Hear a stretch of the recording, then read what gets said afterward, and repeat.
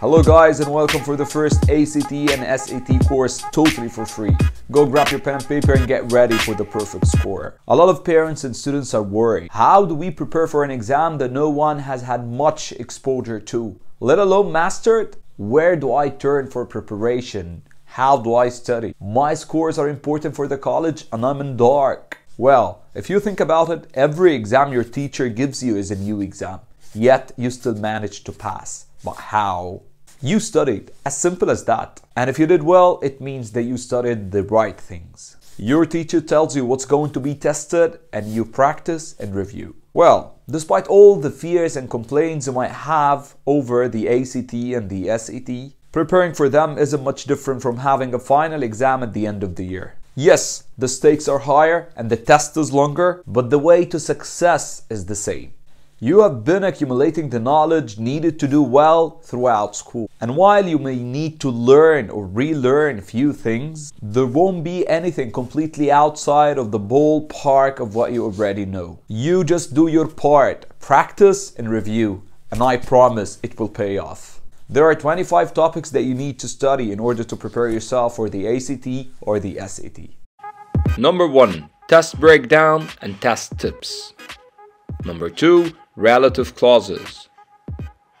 Number 3. Prepositional phrases. Number 4. Idioms. Number 5. Subject-verb agreement. Number 6. Modifiers. Number 7. Run-ons. Number 8.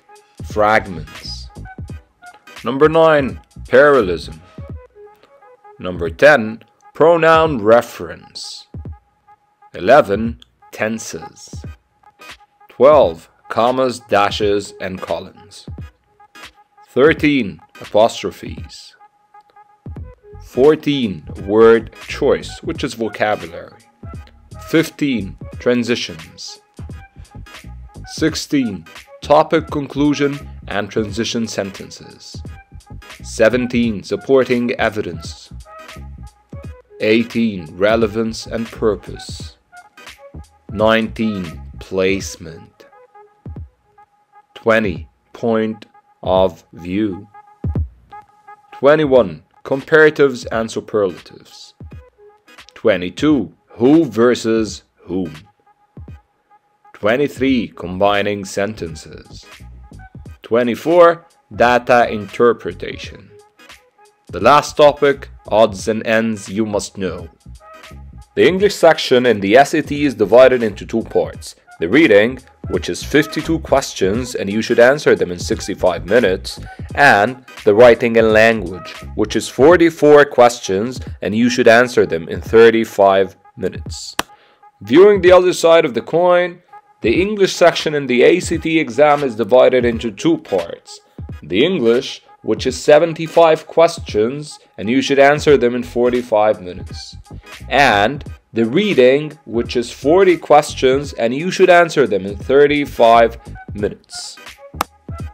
We prepared 25 videos for those topics. For complete understanding, this course is best watched from the beginning till the end. Each video was prepared to be independent from the others as much as possible. After all, you may already be proficient in some topics yet weak at others. If so, feel free to jump around focusing on the topics that are relevant to your improvement. Let's assume that you watched the 25 videos and now you're ready for, for having an exam.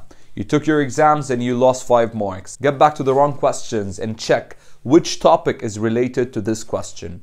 Study the topic from the beginning, practice and review, and then go to the next test. Now let me tell you how we divided our videos. Our videos are divided into two parts. First part, it's my part. I'm going to explain the topic along with different examples to make sure that you fully understood the topic.